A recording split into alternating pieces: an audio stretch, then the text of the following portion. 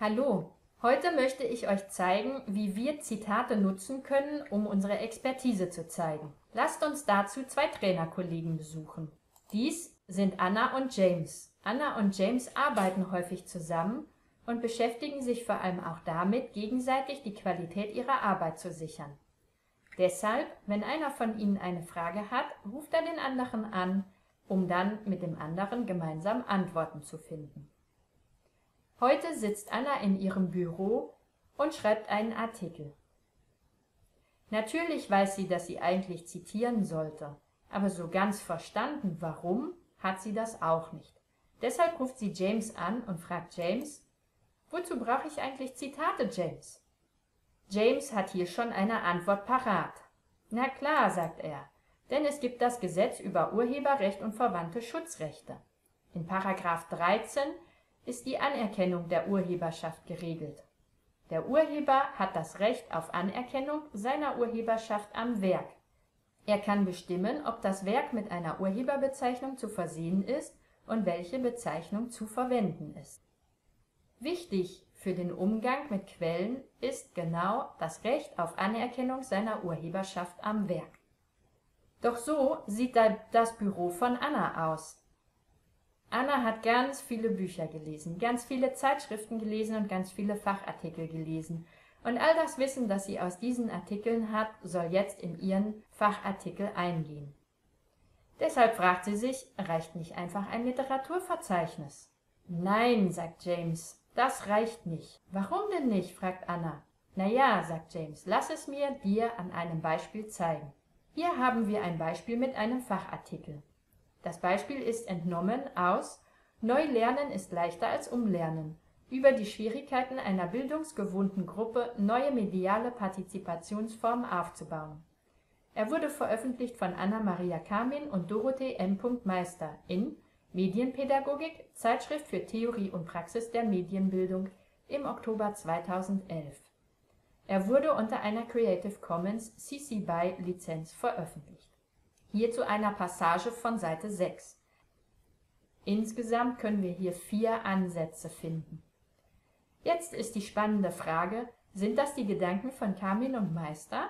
Bei dem dritten können wir uns sicher sein, denn sie schreiben, bei der von uns untersuchten Gruppe handelt es sich um Personen. Bei den anderen wissen wir es nicht so genau. Deshalb werfen wir jetzt einen Blick in das Literaturverzeichnis. In diesem Literaturverzeichnis sind insgesamt 32 Quellen angegeben. Stell dir jetzt einmal vor, du müsstest versuchen, in diesen 32 Quellen genau diesen einen Punkt wiederzufinden. Ich glaube, das ist sehr herausfordernd. Deshalb wollen wir an jeder Stelle, wenn wir den Gedanken einer anderen Person verwenden, dies auch entsprechend kennzeichnen. Ich zeige dadurch Respekt anderen Autoren gegenüber. Ich sage auch, dieser Gedanke ist nicht von mir, sondern er ist von einem anderen Experten. Das heißt, ich hole hier ganz einfach andere Experten mit ins Boot, die dann meine Meinung unterstützen. Wenn ich ganz aktuelle Quellen verwende, dann zeige ich auch, dass ich auf dem neuesten Stand der Diskussion um dieses Thema bin. Aus den Ergebnissen anderer folgt meine Schlussfolgerung. Dies ist ganz wesentlich, denn so erhält meine Schlussfolgerung einen fundierten Hintergrund. Und ich lade den Leser ein, meine Gedanken nachzuprüfen. Anna, jetzt stell dir mal vor, welche Wirkung das auf Seiten der Teilnehmerinnen erzeugt. Hier haben wir eine von ihnen. Was sagt diese dazu? Oh, da schreibt ein Fachexperte. Die Autorin von diesem Artikel weiß wirklich genau, worum es geht. Ich kann die Gedanken nachvollziehen und vor allem, ich habe auch die Möglichkeit, es nachzuprüfen. Das macht für mich eine hohe Qualität aus. Schlussendlich vertraue ich dieser Meinung und deshalb möchte ich auch an dieser Stelle weiterlesen. Jetzt hat Anna ein Problem, denn Anna weiß nicht, wie sie von ihrem Chaos hin zu einem geordneten Umgang mit den Quellen hinkommen soll. Dafür habe ich für dich eine Antwort, Anna. Ich kennzeichne in meinen eigenen Texten, von wem ich Aussagen übernommen habe und welche davon in meine eigene Darstellung eingeflossen sind. Durch die Art und Weise, wie ich die Quellen wiedergebe, zeige ich auch, wie sie genau in meinen Gedankengang eingeflossen sind. Ich zeige, wie ich sie übernommen habe, nämlich entweder durch ein direktes Zitat, in dem ich die Quelle wortwörtlich wiedergebe, oder durch ein indirektes Zitat, in dem ich die Formulierung und die Darstellung in meinen eigenen Worten wiedergebe. Ich ordne die Gedanken an Ort und Stelle ihrem Urheber zu, so dass sie für eine andere Person auffindbar werden. Das sieht dann wie folgt aus. Hier ist wieder der Originalabschnitt aus dem Artikel von Kamin und Meister auf Seite 6. Dort, wo vorhin die Auslassungen gekennzeichnet waren, habe ich jetzt, wie im Originaltext, die Quellenangaben wieder eingefügt. Damit reduziert sich das Literaturverzeichnis mit seinen 32 Quellenangaben für die erste Aussage auf vier Quellen, für die zweite Aussage auf genau eine Quelle und für die dritte Aussage auch. Und das macht das Nachvollziehen dieser Gedanken einfach. Ich weiß jetzt genau, wo ich nachschlagen muss. Wie zitiere ich eigentlich? In einem direkten Zitat gebe ich den Text wortwörtlich wieder. Dies ist ein Beispiel. Das direkte Zitat wird gekennzeichnet durch die Gänsefüßchen und es gibt genau die Formatierung des originalen Textes wieder.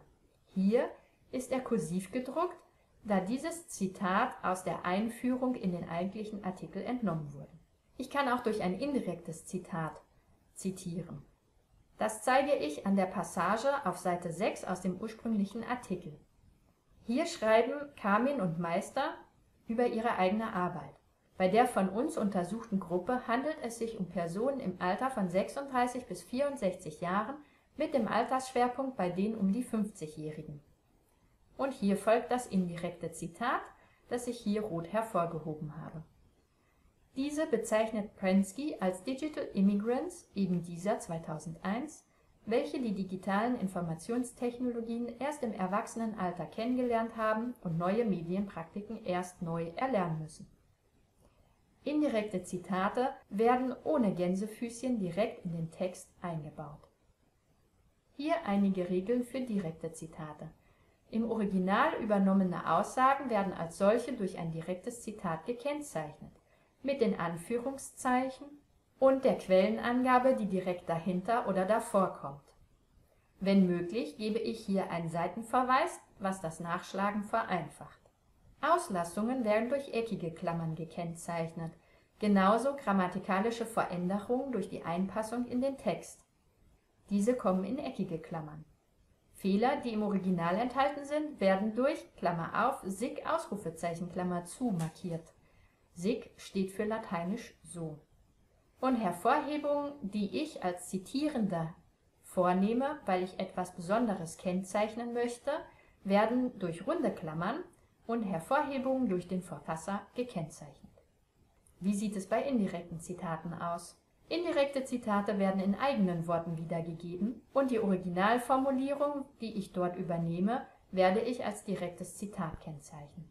Der Urheber der Gedanken wird klar hervorgehoben, zum Beispiel Kamin und Meister 2011 stellen fest oder aber das indirekte Zitat und dann die Quellenangabe dahinter. Anna, beachte, Unterschiedliche Disziplinen haben unterschiedliche Stile. Wähle doch deinen eigenen, denn dadurch kannst du dich ausdrücken. Herzlichen Dank an Anna und James. Mit James letzten Worten möchte ich jetzt dieses Video abschließen. Wähle deinen eigenen Stil und beachte, dass du jeden Gedanken eines anderen Autors durch eine Quellenangabe direkt im Text hervorhebst.